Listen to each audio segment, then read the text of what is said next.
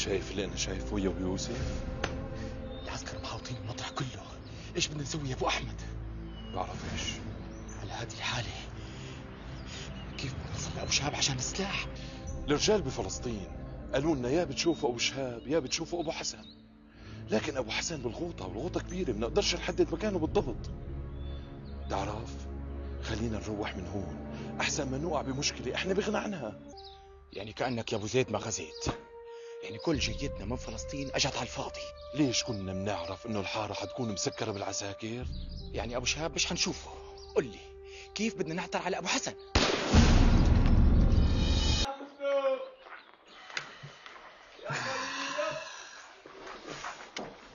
بالعمل يا أبو أحمد؟ كيف بدنا نوصل لأبو شهاب أو أبو حسن بالغوطة؟ طول بالك أبو يوسف. بالأول لازم نعرف إيش صاير بحاره الضبع خفة شوي بقى عيدو خفة شو بنا حاضر معلم. اهلين برجال نورتوا حارة المسكي كلياتها. الله يعز مقدارك أنتم منين بلا زغرة معلم؟ إحنا من فلسطين. من فلسطين؟ الله محيي فلسطين وأهل فلسطين. علي ما علي أنتم أبدع ناس. يا عيدو اثنين شاي؟ على كيفك؟ اترك عجب من الشباب وحسابي هدول هدول ضيافة مني. كتر الله خيرك يا أخ. حدوا محسوبكم حدوا عاشت الأسامي أخوي حدو. بقول كنت حابب أسألك سؤال لو سمحت. مو ابو شباب. إحنا كنا قاصدين حارة الضبع عشان نقابل فيها شخص عزيز علينا. لكن لقينا الحارة مطوقه بالعسكر الفرنسي. إيش القصة؟ إيه مزبوط الله يهدهم بجاه النبي. هدول يا سيدي محاصين حارة الضبع كلياتها ومانعين عن اهلها كل شيء أكل وشرب لك حتى الدواء. يقفل صدرهم. وليش محاصرينها؟ ليش بدي لكم لكم؟ والله ما بعرف. هي قصة طويلة كثير كده شازي حدو يلا جاي. تكي بخلص بإيدي وبرجع بحكي لكم.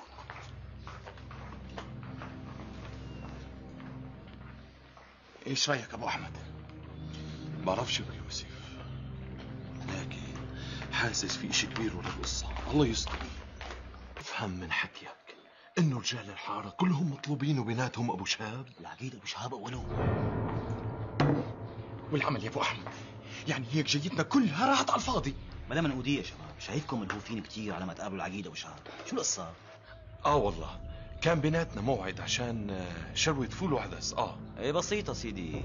شوفوا لكم شي تاجر يكون صاحب ذمه وضمير. وتعاملوا معه. وين الشاي يا حدو يلا يلا جاي. عن إذنكم يا رجال. تفضل إذنك معك. بنته رجال كويس وسكرت ويمكن يساعدنا. آه والله على سلامته لكن ابو يوسف إحنا بنعرفوش بنقدرش نأمن بحدا. طيب يا أبو أحمد كيف بدنا نصل لأبو حسن؟ طالما ما قدرناش نوصل لابو شهاب. أنا اللي عم فكر فيه يا أبو يوسف. الدقيقة اللي عايشينها أهالي حارة الضبع. ما سمعت حدو إيش قال حارمينهم الأكل والدواء. بعرفش كيف بدنا نساعدهم. وهم وقفوا معنا وقفة رجال وساعدونا بخلوش علينا بإشي. مزبوط كلامك يا أبو أحمد. بس إحنا إيش بنقدر نسوي لهم؟ نقدر نسوي لهم كتير يا أبو يوسف. تركني أفكر. كل عقدة وإلها حلال. أبي كيف راح عن بالي؟ إلي قرابة ساكنة هون بالشام. خلينا نزورها وبعدين بنحكي بالموضوع. إلك قرابة بالشام يا أبو يوسف وساكت؟ مين هي؟ هاي خالته لأبوي مرة كبيرة وعايشة لحالها معروفة بكل الشام كانت تشتغل داية قوم خلصني قوم قوم. أهلا وسهلا. أهلا فيكي. أهلين فيكي خالتي أم جوزيف. فيش داعي تعذبي حالك قولوا بلا لعي قلت لي أنت ابنه ليوسف ابن أختي هيلانه آه أنا الياس ابن يوسف. آه. الله يرحمك يا هيلانه كانت حلوة مثل فلقة القمر. ومنو هذا يلي معك؟ شو قلت لي اسمه؟ هذا أبو أحمد صاحبي. آه. كمان ساكن معك بفلسطين؟ آه يا خالتي إحنا جيران دار عمي يوسف الله يرحمه. وشو جايين تعملوا هون بالشام؟ جايين تبيعوا بردقان لا والله يا خالتي أم جوزيف إحنا جايين بموضوع مهم على الشام وما زبطش. ها شو الموضوع ولا؟ بصراحة إحنا جايين نستلم سلاح من حارة الضبع بس لقيناها محاصرة بالعسكر. يه يا الياس يه. بدك تهرب بارود لكن مو باين عليك الشكل. المرحوم أبوك كان ني وطري مثل الخسة. بس هذا يلي معك باينته جدع وقبضاي. والياس كمان بيعجبك يا خالتي. أنت خلاص ما حدا عم يحكي معك. بينتها خالة أبوك واحدة عصبية زي ما قال لي أبوي. بس قال لي كمان إنه قلبها طيب زي العسل. إن شاء الله يكون أكلها زاكي زي قلبها. أنا جعان كتير يا أبو يوسف. مد إيدك. ما أقدرش لا تيجي. شو عم تبسبس أنت ويا أولاد؟ ولا إشي خالتي أم جوزيف. عمالي بقول له ريحة طبيخك زاكي كثير إيه كلوا بلا لعب كلوا ما راح أحط الغدا مرة تانية؟ بسم الله. ولا يهمكم. أنا بكرة راح أفوت على حارة الضبع. وأسأل عن العقيد أبو شهاب وخبره أنكم وصلتوا من فلسطين بالسلامة. خالتي أم جوزيف عاد كيف بدك تفوتي على الحارة؟ وأنت شو دخلك؟ هذا مو شغلك. قلت لك بدي فوت على الحارة يعني بدي فوت على الحارة. وإذا كان دي جول ذات نفسه واقف ناطور على الباب راح أفوت. استنوني ها؟ وين رايحة؟ ما دخلك. ولا. كرمال الله خلينا نروح من هون. هذه خالة أبوك وحدة خرفانة مش بقيان براسها ولا إشي. قال إيش؟ بدها تفوت على حارة الضبع وهي محاصرة بالعسكر. خلينا ننفذ بليشنا أحسن. وأنا هيك شايف يا أبو أحمد. لا مو فهمتك يا فهيم. رحت خبرتها بكل إشي وليش جايين على حارة الضبع كمان؟ قوم قوم خلينا نمشي. هذه المرة بدها بدها تروحنا بشربة مي. وين رايح أنت ويا أولاد؟ إيش هاد خالتي ام جوزيف؟ أي طبنجة المرحوم أبو جوزيف. وليش حاملتيها بالله شو؟ بدك يعني روح على حارة الضبع بدون سلاح أصلا أنا ما بمشي بلا. عدو. لوين كنت رايح أنت ويا أولاد؟ وين كنا رايحين؟ ما كنا رايحين لمطرح. الدولة والشاي دولة والشاي قبل ما يبرد. وهي أحلى كاسة شاي لا أحلى ابو احمد استنوني هون. وما تتحركوا من مطرحكم لحتى أرجع فهمتوا؟ خالتي ام جوزيف انت عارفة حالك وين رايحة؟ بس يا ولد شو شايفني خرفانة؟ يلا أنا رايحة على حارة الضبع وما بطول. نعمة.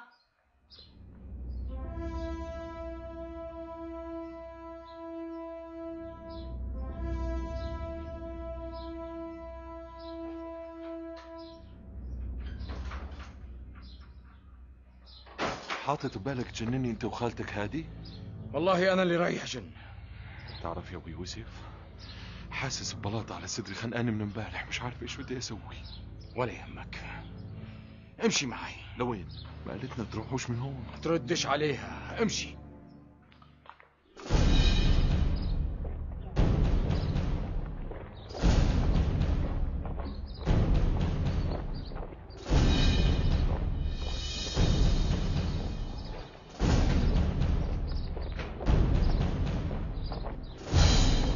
حرمة أبوك الحرمة. شو بدك مني ولا؟ وين رايحة؟ بدي فوت لجوا لوين لجوا؟ وين يعني لجوا على الحارة. ممنوع.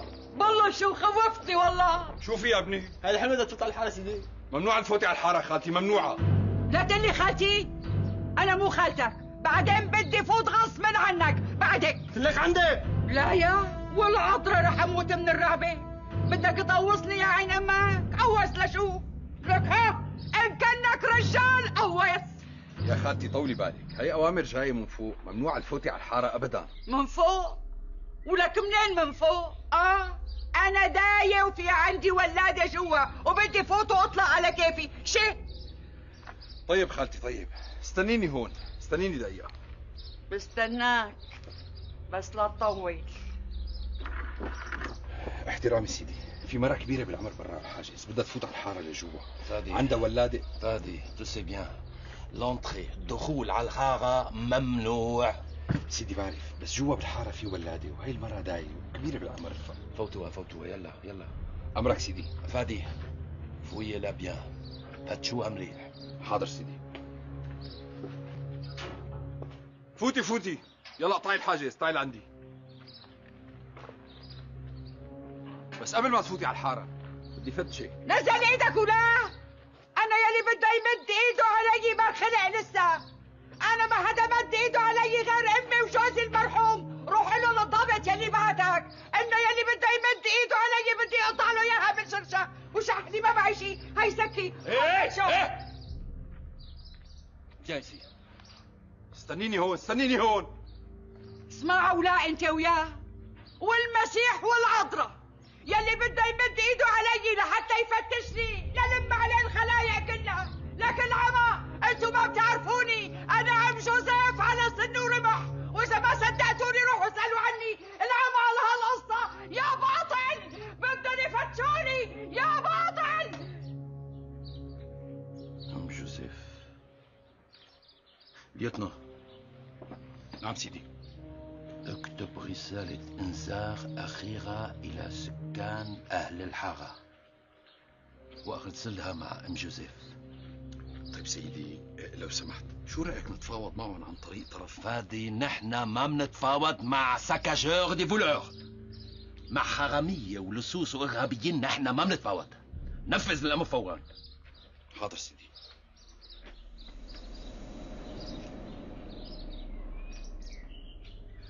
امسكي هالورقة تعطيها لواحد اسمه أبو شهاب. أبو شاب ما بعرف حدا بهالاسم. تسألي عنه بياخذوكي لعنده وبتعطيها. افتحوا لها الباب!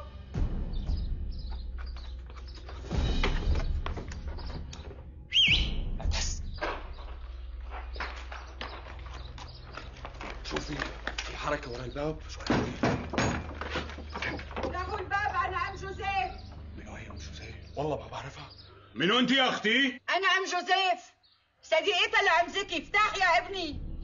وشلون الفرنساوية خلوكي تقربي ناح الباب؟ ولك أنا ما حدا بيقول لي لا ولا. افتح بقى. العمى شو بتحب اللعين لك افتحوا افهم بقى. افهم. افتحوا لها الباب. تريد نشاور عمي أبو حاتم؟ لا معلش. افتحوا لها الباب وعلى مسؤوليتي. وإذا حسيتوا في شيء مو طبيعي أوصوا فورا. افتح.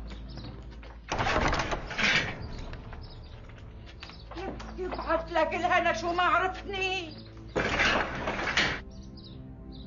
لك مالك شايفني ولا مرة عندكم بالحارة وأنا طالعة وأنا جاية وأنا رايحة؟ آه إيه أهلين وسهلين أهلين وسهلين خالفي ام جوزيف. بدي أقابل العقيد أبو شهاب وبسرعة.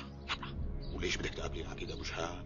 يبعث لك حمش وإنك تبقى وشايف حالك ومأنزع مثل الديك. أنت شو دخلك؟ آه روح إنه أم جوزيف عاوزتك وبلا هالتناحة لك ليش الغلط خالتي؟ ليش الغلط؟ ما رح خليك تشوفي أبو شهاب إلا لحتى أعرف شو بدك منه، أنا ابن أخته، ولك أنا من طرف أبو يوسف وأبو أحمد. ومنو هدول أبو أحمد وأبو يوسف بلا صغرى؟ هدول الشباب الفلسطينية يلي إجوا من فلسطين لحتى يقابلوا أبو شهاب مشان يستلموا سلاح وما قدروا يفوتوا على الحارة لك شبلة! شبلة! آه إيه. إيه شرفي، إيه امشي ولا انسى امشي. لك ليش عم تحكي معي هذا الحكي؟ امشي. شرفي خانم شرفي. أهلا وسهلا بالست أم جوزيف. يشرف مقدارك أخي. عمي أبو حاتم تقدري تحكي معه شو من بدك؟ شو أحكي معه؟ لك أنت جدبة ولا عم تجدبها؟ استغفر الله العظيم على الحكي، خالتي ما عاد أقدر أستحملك ها، ما عاد أقدر أستحملك. وبلا لعيه قلت لك بدي أحكي مع أبو شاب يا خانم يا خانم. الله وكيلك أبو شهاب ماله بالحارة. يا عذرا يا أم النور. شلون ماله بالحارة؟ مثل ما عم قل لك بقى شوفي شو بدك أنا بخدمتك. قلت له لهذا أبو عقدين إنه أبو يوسف وأبو أحمد ناطرين عندي بالبيت وهن جايين من فلسطين خصوصي ليستلموا السلاح من أبو شاب فهمت عليكي فهمت عليكي بس صدقيني يا ست أم سوزيف إنه أبو شهاب ماله بالحارة. وبالنسبة للشباب قالوا لهم يروحوا لعند مختار حارة الماوي أبو صياح. هذا الرجال من يمنا وهو بيساعده. شو قلت لي اسمه؟ أبو صياح. استبينا إيه صحيح قبل ما أنسى. هدول الزعران العسكر قبل ما فوت على الحارة أعطوني مكتوب وقالوا لي لازم وصلوا لأبو شهاب بالاسم. وطالما ما له هون خلص خذ أنت اقرأ. تفضل. خير خير إن شاء الله. خير عمي ابو حاتم خير هيك دخلوا على هالبلاد وهيك بدهم يستمروا اللي عمي ابو حاتم؟ والله شغلت لي بالي عم يعطونا مهلة لفجر يوم الجمعة. يا أما بنسلمهم الأسرى والسلاح اللي عنا يا أما بيهبطوا الحارة فوق رؤوسنا بالمدافع. فيه عليهم هالكلاب بلا شرف بلا ناموس. والعمل هلا عمي شكلك المال عم تتشربك. لازم نعمل اجتماع للرجال فورا. تاخذ الخانم لعندكم على البيت. ولبين ما نخلص الاجتماع منخبرها شو صار معنا. لا أنا بدي أروح زور أم زكي. قوم يا ولد وصلني لعندها. شرفتي ست أم جوزيف. أبو العز وصلها لعند أم توفيق وأنت راجع مروح على أب بشير وقول له اجتماع بالقهوة من بعد أمرك. شي شرفي. أنا ما انت ما بتحكي معي يا عليكي يا شقوية لك شلون قدرتي تفوتي على الحارة بدون ما تخافي من العسكر؟ دخيلك يا ام زكي على شو بدي خاف؟ إيه ما بقي من العمر أكتر من يلي راح. بعدين من مين بدي خاف؟ من شوية أولاد حاملين بوارين؟ لك إيه هدول ما بخوفونا ملي. ميت أهلين وسهلين بالست أم جوزيف شرفتينا وآنستينا. خطوة عزيزة والله. بالمهلي تقبريني. ما قلتي لي شو اسمها الصبية؟ آه، اسمها فريال وبيقولوا لها أم توفيق. روحي. العذراء تحميلك توفيق وما تنحرمي منه بحياتك. لك تسلمي لي يا أم جوزيف. انت وحكياتك شو حلوين. وينك؟ وينك انت إنا زمان ما شفناكي شو بك يو وليش عم تضحكي؟ ليكون قلت شي بضحك وأنا ما عندي خبر. أنا مزبوط بيقولوا لي ام توفيق بس الله بعدي اسمه وكرمه ما طعمني توفيق. بس بينادوا لي هيك مثل جوزي الله يرحمه أبو توفيق. إذا كان الله لا يرده مطرح ما راح. أنا لو كنت بدالي كنت بتجوز مرة تانية وبخلف صبي وسميه إسماعيل أو حمدي أو أدهم جكارة بالمرحوم. يبعت لك يا أم زكي. ولك ليش ما عرفتيني على أم جوزيف من زمان؟ اي والله حكياتها ظراف وبفوتوا لصمصومة القلب من جوا من غير لا حاضر ولا دستور. إيه صبي قهوة صبي بلا العين. وأنتي امسكي بدي تشوفي لي فنجاني. وتشوفي لي إذا كان شي واحد أعمى قلب جاي يطلبني عن قريب ولا لا. لأنه إذا ما في بدي اكسر الدف وبطل الغنى. يسلموا